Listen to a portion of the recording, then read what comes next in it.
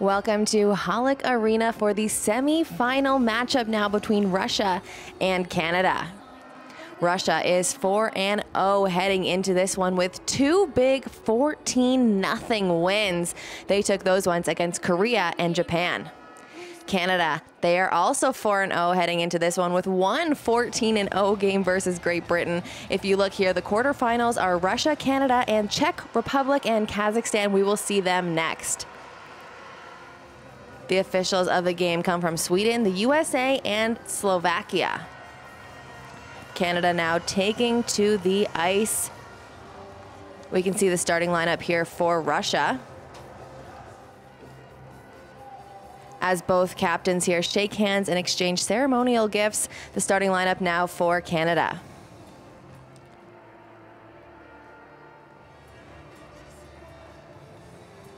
The head coach for Russia is Vlad Khromych, and for Canada, it's Brett Gibson.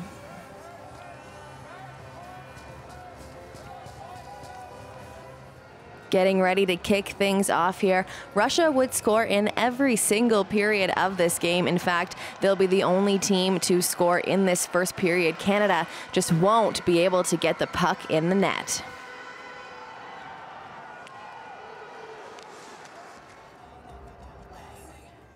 To start off the action. Russia on the power play. A slap shot from Zabornikov will get Russia the 1-0 lead in the first period. Watch this one again. Just centimeters past the goalie's glove. That one is good to end the first. In the second period now, Canada would look to answer back as Slater Doggett steals the puck, goes all the way around the goalie, but some great stick work there by the goalie just puts it right out of the net. You can see here, almost goes in. Doggett looks back to see if he was successful. This one is no good for Canada.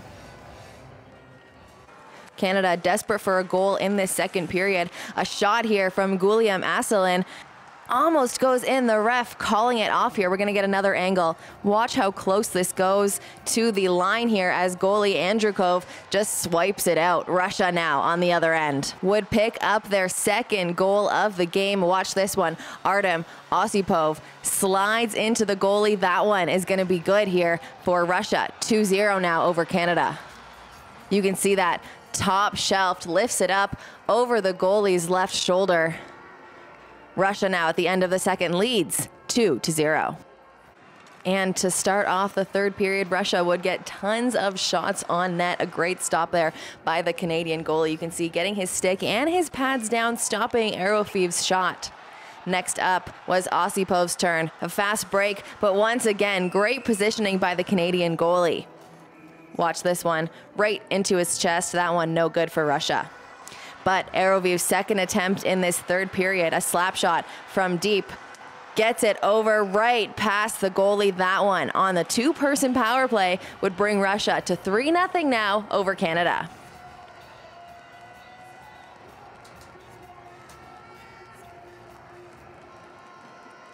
Russia extremely happy with this goal, leading by three late in the third with a minute and a half left. It was Ivan Ivanov who would get another empty netter to put them up by four with under a minute and a half left to go in the third period.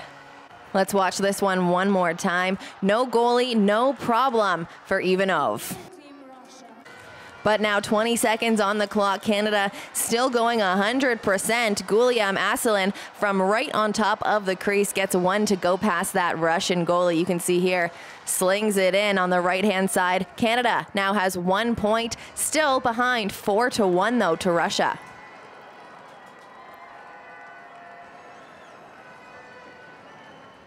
14.4 on the clock now. Not looking good for Canada under 10 seconds in the third period. And you can tell they're unhappy because look at this interaction now between Russia's Daniel Elin and Canada's Ryan Van Stralen. It's going to start a absolute brawl here at the end of the game. You can see Canada and Russia going at it. Multiple players now fighting with each other. The refs trying to stop it here. You can see this rivalry between these two hockey teams goes deeper than any other at these games.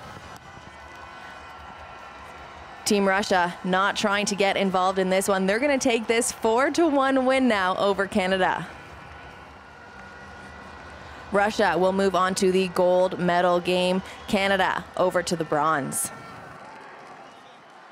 Four goals by Russia. Zabornikov, Osipov, Arafeev, and Ivanov will get them the 4-1 win. Canada's only goal scored by Asselin.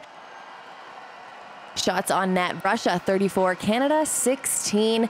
Was a close one in that regards, but Russia a little bit more accurate on this one. They will go now. Gold medal.